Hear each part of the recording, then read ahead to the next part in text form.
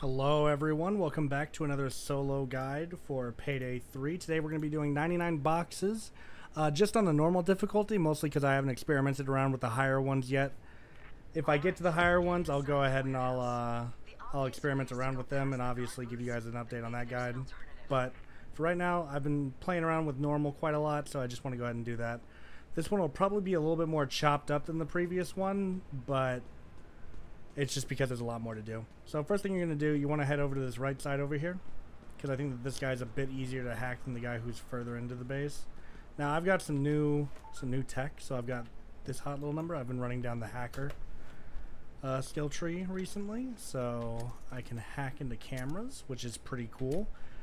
I think you only need one tier of hacker to hack into the cameras, but I think that you need another tier in order to get the the looping one, which is what I'm using right now in order to keep this guy's eyes off of me. So I think we might actually be able to... Okay, there's not a camera here. There, there can be sometimes, so you want to watch out for that. But you want to go ahead and start hacking this guy's phone.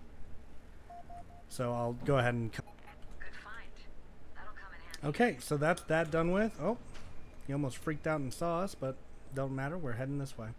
So once you you you want to hack both, just so you have either.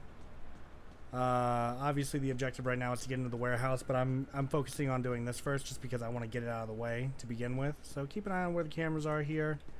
Obviously, I'm hacking them, but if you don't have that perk, you're gonna have to sneak around in order to do it, which may make things a bit a little bit more difficult. That's embarrassing. Um, oh, speaking of cameras. Okay, so we loop that one. We're gonna wander in here a bit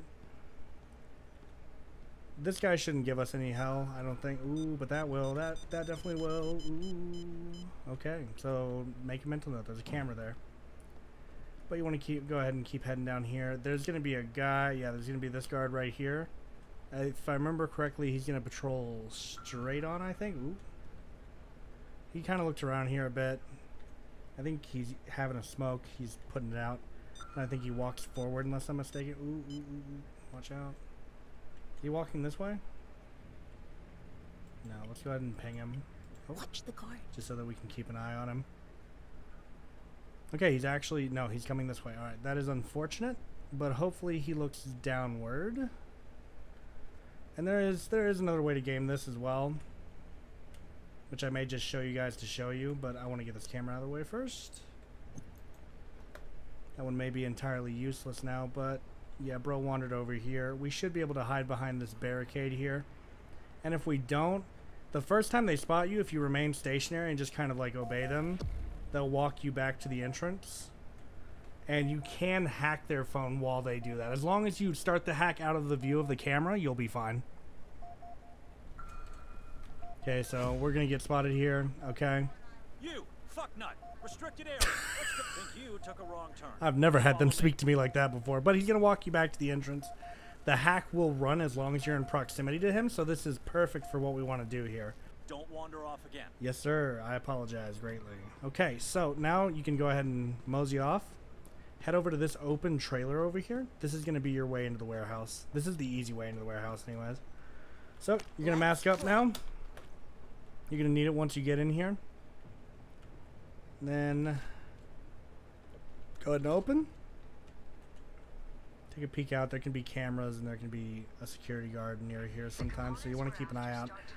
However, I've recently learned, okay, there's a, there's a security guard in here, and there's also a civilian. There's usually two people in here at any given time, and then there's also the uh, security camera area is going to be back here. It says you need a blue key card.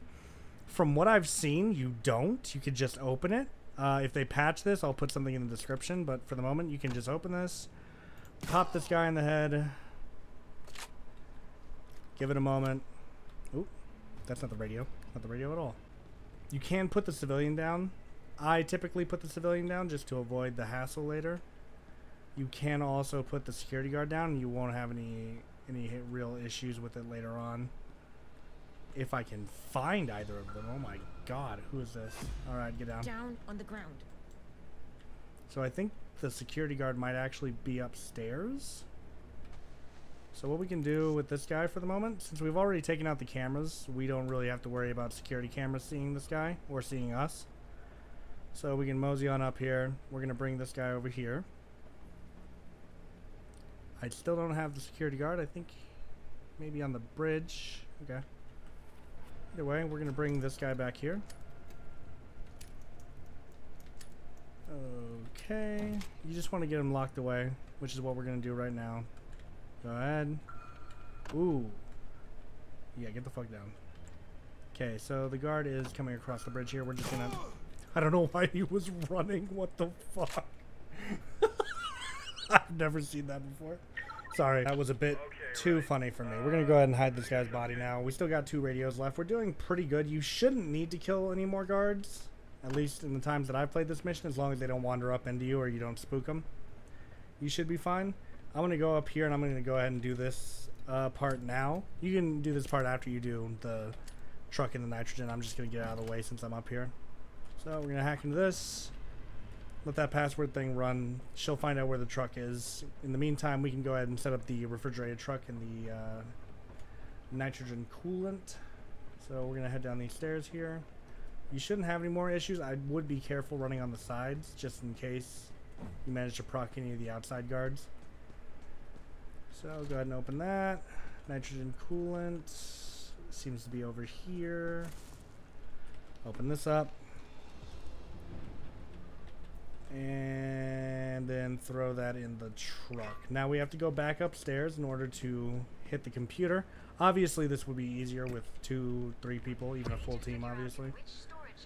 Um, but since I did solo for my first one, I would kind of want to keep up with that.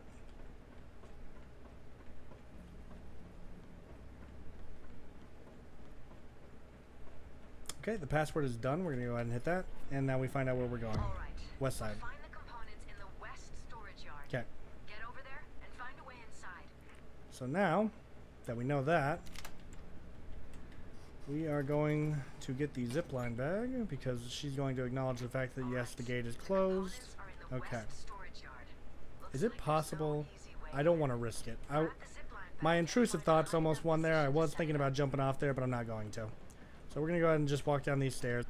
You may have to kill this guard. It depends on what kind of situation he puts us in. If he's wandering towards us and it looks like he's going to set off the alarm, we may kill him. We may not kill him.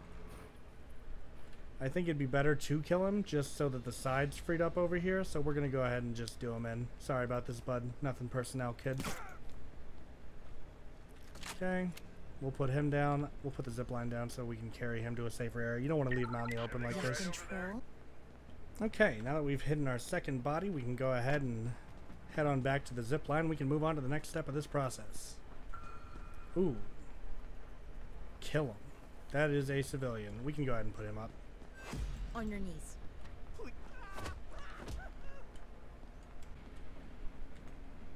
Okay, so now we post the zip line up here. It's going to swing us across. Yum. Go ahead and look out for the white carrier. There's one there. There's one over there. You want to go ahead and keep keep your eyes out for the the white ones as quickly as you can because those are, those are going to be the ones that we're using. I heard something. Okay, this guy might get himself killed. That's not the He comes up here. He's See getting killed and we're putting him in the goddamn inside. thing. Otherwise, keep looking for Next. That's the whole running, tripping up guards thing I was talking about earlier that can happen. However, this is not the objective. This is just side money you can get. I'm just grabbing it because I can. Uh, and also to show you how you can do this section. Okay, and then you want to go ahead and just throw it up here for the moment since you're soloing. Otherwise, you'd have your friends carry it back over, but that's not really an option at the moment. So that's going to be two bags per container, and I believe there are three containers on this map that have the money in them, and then two that have the uh, your actual objective in them. So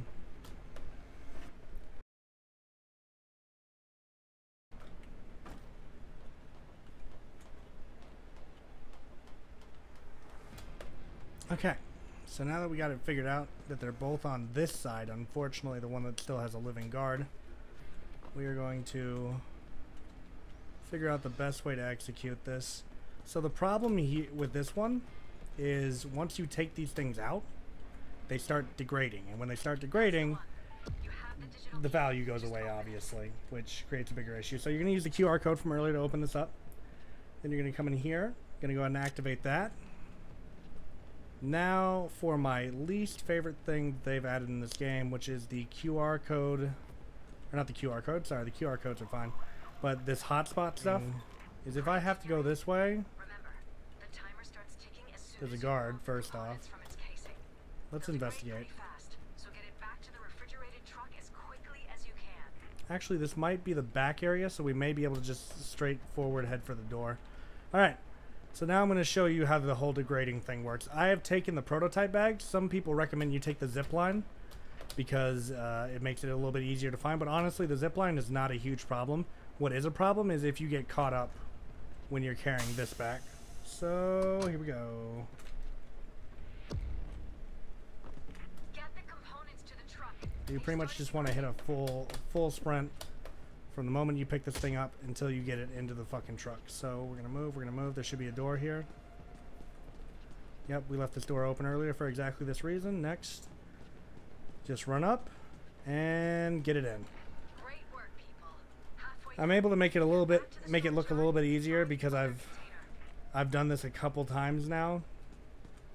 Um, and I and I'm using the prototype bags, but that can be kind of difficult to deal with, especially if you've left some guards live or the security cameras are still up. So you just want to make sure you take those out before you actually do this part. Next, we're gonna move these bags back over because, to be honest, carrying all of these over would be the longest and biggest fucking nuisance possible. So luckily, you can throw the bag at the zip line. Bada bing, bada boom, it goes over. And you got nothing to worry about from there. Okay. Same as before. QR code, and then run the hotspot uh, thing again. And keep in mind, these are all, these are going to be random each time. You're never going to know exactly where they're going to spawn. So remember that. Oh God. Okay. See, this is such a nuisance. However, this has just revealed to us we have a very straightforward spot to jump down to whenever we do get that one, which is going to make delivering it uh, a lot less full of pressure and a lot easier, to be honest, which is nice. So once again, the hotspot bullshit is over with, and we are ready to make our next move. So we're gonna grab this, and we're gonna run straight for that drop that we saw earlier, and we're gonna drop in the truck. And then from there, we're gonna move money bags, Components are losing value. Get 'em to the truck. and then it's pretty much over from that. Ooh, Ooh, I didn't mean to hardcore parkour like that, but you know what? We take it. Thought we were gonna take some fall damage there, but we didn't. So once again, throw it in the truck. So after you do that, after you throw it in there, you just want to go ahead and head back and grab the money bags, and then I'll show you where the escape is.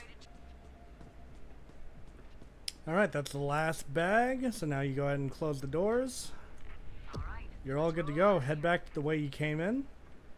Should just be at the front of the semi here. No guards to put up with. Maybe a civilian or two like this this guy right here, but otherwise, you're pretty much done. And that's how you do 99 boxes on normal difficulty, completely stealth. Uh, not a single alarmed raise, and only a few kills had to be done. So there you go. And we missed a bag apparently, which is saddening, but $597 for not the full amount is pretty good. So if you enjoyed this, remember like, subscribe, all that kind of stuff, and I will see you guys in the next guide. So thank you so much. See you next time.